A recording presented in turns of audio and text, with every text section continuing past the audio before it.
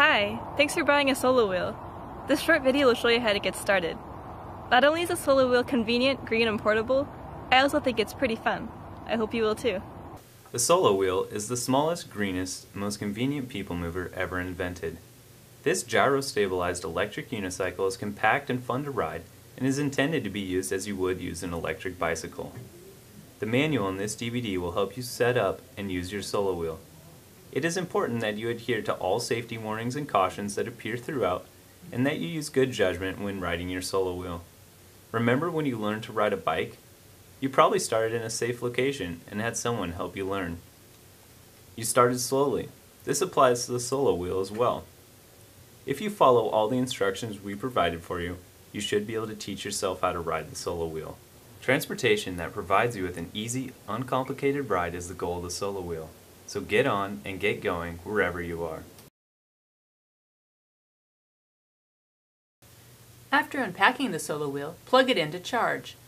A red light on the battery charger will indicate that the unit is charging. The red light will turn off when the Solowheel is fully charged. Turn on the power by pushing this button. A solid light means it's on. If it's flashing red and green, reset it by turning it off and on again. If it's blinking red, recharge the battery. As you unfold the foot platforms, note that the Solowheel can face either direction. The secret to riding the Solowheel is how you hold onto it with your legs. Position your first foot on the platform so that the leg pad rests against your lower leg. You will know you have the right position when you feel it stable and you can control it.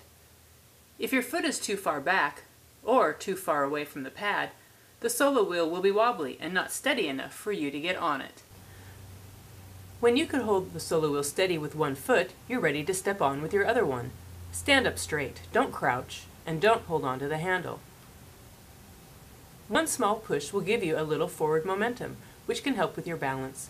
Don't push too hard or it will throw you off balance. Now that you have both feet on the platforms, you'll want to get some speed. Lean forward smoothly with a straight back and legs. Remember to hold on using your legs against the pads. You can't control the Solowheel if you're in the wrong position. The Solowheel accelerates in response to your leaning forward. Do not lean forward too quickly or the motor will not be able to catch up with you. When the Solowheel is on, don't lift it off the ground.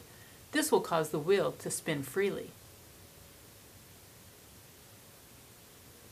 Once in position on the Solowheel, rest your calves comfortably against the leg pads.